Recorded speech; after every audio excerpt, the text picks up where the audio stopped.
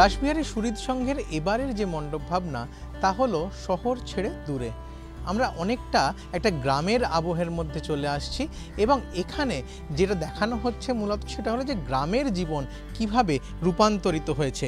একটা সময় সেখানকার মানুষজনের যে জীবন চর্চা সেটা কীরকম ছিল আর সেখান থেকে আজ আধুনিকতার ছোঁয়ায়, উন্নয়নের ছোঁয়ায় গ্রাম কতটা বদলে গেছে তারই এক টুকরো ছবি উঠে আসছে এবার রাসবিহারী সুরিত সংঘের মণ্ডপে।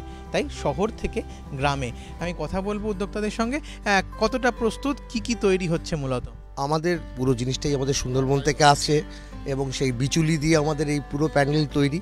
সেখানে গ্রামের পুরো উন্নয়ন কীভাবে হয়েছে আগে কি ছিল এখন কীভাবে উন্নয়ন আমরা অনেকটাই প্রস্তুত। এবং আমাদের মেইন শিল্পী মহানন্দ যিনি তার মা- অখিলবাবু এরাই এর- এনাদের মাথা থেকে যেটা বেরিয়েছে সেই জিনিসটাই আমরা করছি। মূলত কি কি তৈরি করা হচ্ছে এই বিচুলি দিয়ে? বিচুলি দিয়ে আপনার ডিজাইন জাপড়ির ডিজাইন তৈরি করা হচ্ছে এবং আপনার খুব করা হচ্ছে। কিছু মডেল লাগানো হচ্ছে, যেটা আগে ঢেকি, ঢেকিতে ধান ভাঙানো হতো।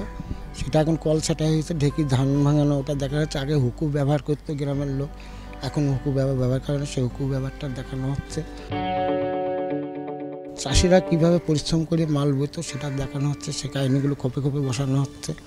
আর এখানে আপনার যে উন্নতি হয়েছে, সেই উন্নতির দেখানো হচ্ছে, আপনার মোবাইল কানে দিয়ে হেঁটে যাচ্ছে এবং কম্পিউটার যুগে এসছে। ওটা আমাদের ইম্পর্টেন্ট ওইটা কম্পিউটার তোলা হয়েছে এবং আমাদের এটিএমের টাকা সে নতুন সিস্টেম ওটা এটিএমের টাকা তুলবে সেটাও আমাদের এই দৃশ্যগুলো দেখানো হবে। হ্যাঁ, বিভিন্ন মডেলের মাধ্যমে সমগ্র ভাবনাটার উপস্থাপনা করা হচ্ছে।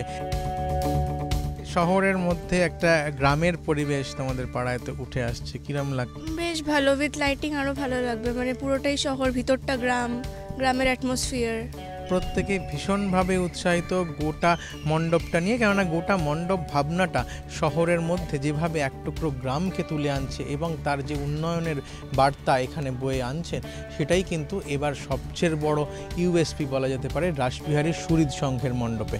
সঞ্চয়ন মিত্র, এবিপি আনন্দ, কলকাতা।